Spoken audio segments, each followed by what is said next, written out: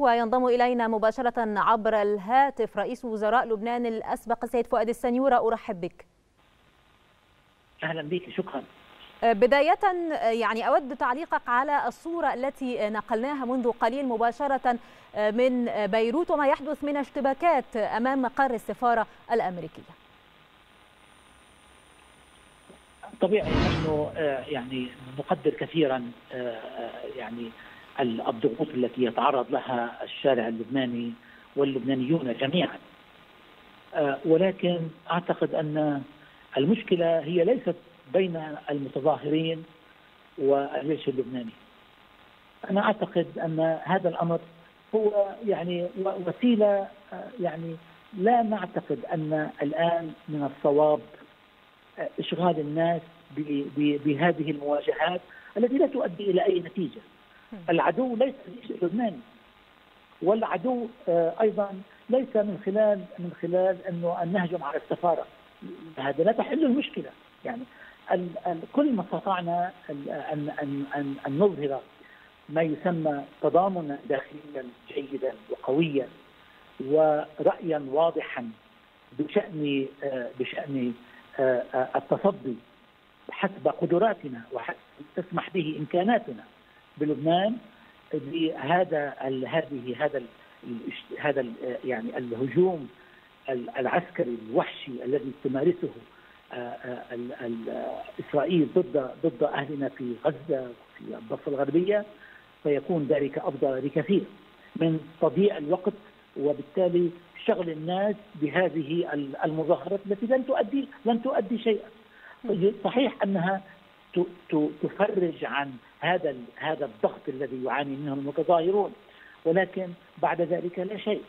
أعتقد انه آن الآن الأوان بما بما ما يسمى النضوج السياسي الذي يؤكد يؤكد على وحدة داخلية في لبنان وعلى التوجهات الصحيحة التي تمكننا من الصمود ومن مساعدة أشقائنا في غزة وفي الضفه الغربية.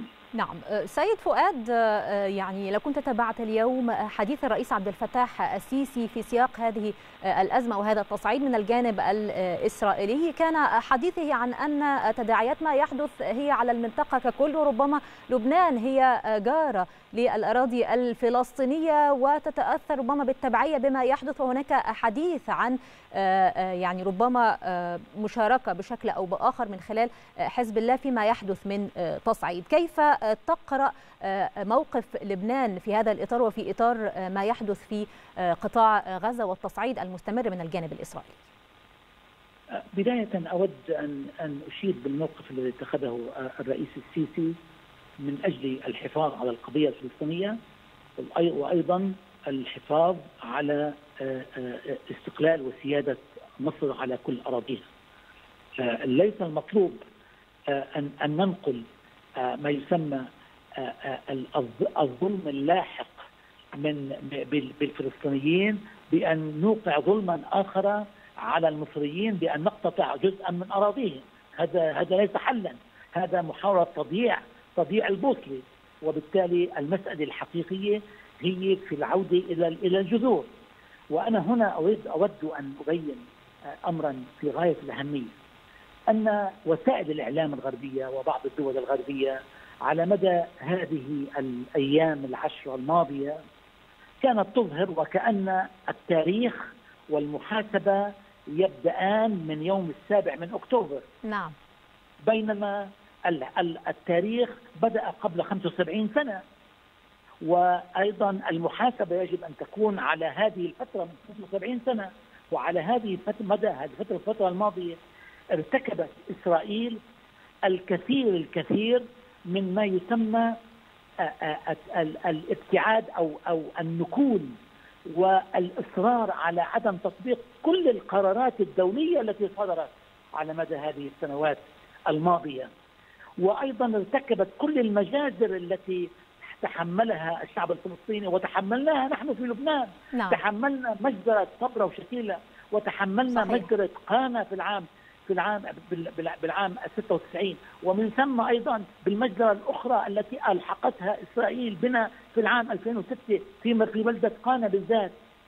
فاذا هذا الموضوع بدنا نطلع أيضا على إسرائيل التي ضربت بعرض الحائط بكل القوانين الدولية وعمدت إلى زرع الضفة الغربية بالمستوطنات بما يجعل من المستحيل إقامة الدولة المستقلة لفلسطين، هذا هو الأمر الأساسي نعم. وبالتالي المجتمع الدولي سكت وصمت وتغاضى عن كل هذه المخالفات وبالتالي لا يتطلع الآن إلا إلى ما جرى في السابع من أكتوبر ويزور الحقائق كما زورها بالنسبة للمتفج القصف الذي ألحقه بالمستشفى آه، بغزة. نعم وما يتعلق بإقحام لبنان في هذا الصراع نعم. هلا إقحام لبنان يجب أن نكون أيضا واضحين. طبيعي سمعنا خلال فترة حسن نصر الله يقول إن نحن بدنا نتدخل ومن غيره نتدخل، أنا بعتقد أن الأوان لنا لنتبصر فيما يجري.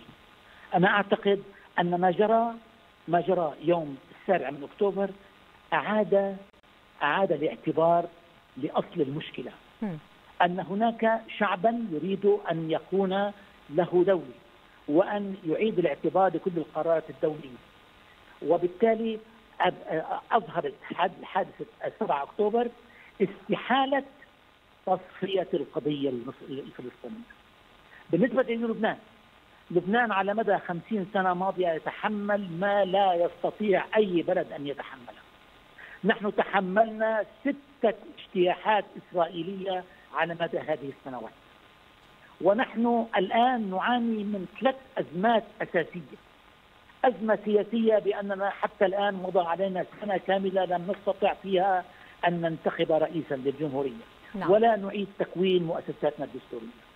وثاني هذه الأزمات أزمة اقتصادية ماحقة وساحقة بحيث أن لبنان عملته الآن تساوي 2% 2% مما كانت عليه قبل عدة سنوات.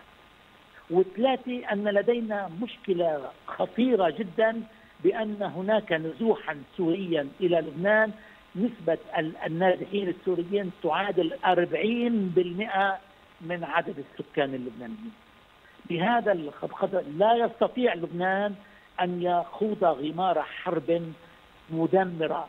لا نخرج فيها إلا مدمرين مثل ما دمرت غزة. نعم. إذا ماذا نستطيع؟ نستطيع أن ندعم غزة والضفة الغربية والقضية الفلسطينية سياسيا ودبلوماسيا وإعلاميا. نعم. وهذا هو موضوع المقال الذي نشر لي اليوم في صحيفة الشرق الأوسط اللندنية. هذا الأمر هو ما يقتضيه العقل. وبالتالي أن تجتمع كل الإرادات العربية وإرادات المجتمع الحر من أجل العودة إلى المطالبة بالحلول الصحيحة للقضية الفلسطينية. طالما هناك قضية لم تحل فإننا نكرر هذه الأزمات سنة بعد أخرى وعقدا بعد عقد. ولا ولا ننال إلا مزيد من الدمار.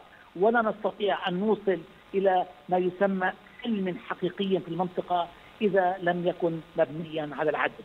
نعم. الظلم إن دام عمر والعدل إن دام دم الظلم إن دام دمر والعدل إن دام عمر. هذا هو جوهر الأسرة. نعم. إذا ما أخذنا هذه الأمور بعين الاعتبار سنبقى وتبقى المنطقة في حالة غليان.